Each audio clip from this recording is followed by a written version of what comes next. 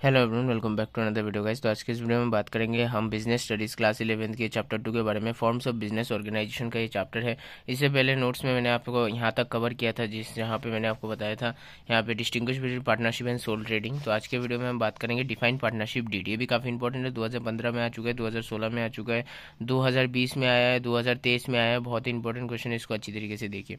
और ये second year का भी इंपॉर्टेंट मतलब अकाउंट्स में भी ये क्वेश्चन पूछा जाता है सेकंड ईयर में, ठीक है?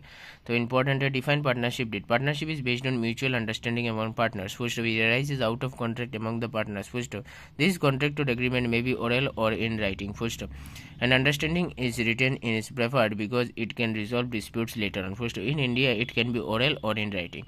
यहाँ पे और एक क्वेश्चन भी आया था, एक mark I think which feature of partnership blind all the partners to the agreement sign by one partner तो ये भी आपको बताना है। उसके बाद ये भी क्वेश्चन काफ़ी इंपॉर्टेंट 2016 में आया है 2018 में आया है 2022 में भी ये क्वेश्चन पूछा गया है।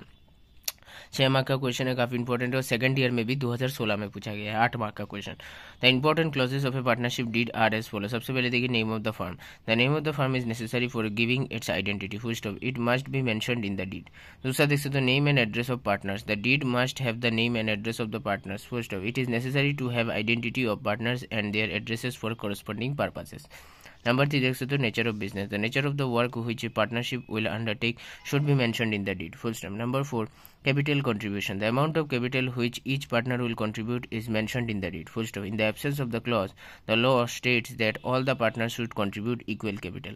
Number five is the profit sharing ratio. The ratio of distribution of profits or losses should be mentioned in the deed. First, if the deed is silent about this ratio, then equal profit sharing is assumed among partners.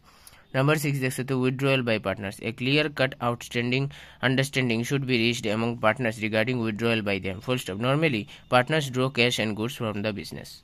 उसके बाद next point देखिए number seven interest on capital and drawings in the absence of partnership deed the partners are not allowed any interest और capital and also they are not charge interest on drawings number eight देख सकते हो salary और commission to partners according to law partners are not allowed any salary और commission in order to compensate those partners who give more time to the business a salary और commission may be allowed to them ठीक है तो आज के लिए बस इतना ही। अगले वीडियो में हम डिस्कस करेंगे डिस्कस द इंपॉर्टेंस बिटवीन और difference between partnership and joint in the family business ये भी काफ़ी इंपॉर्टेंट है।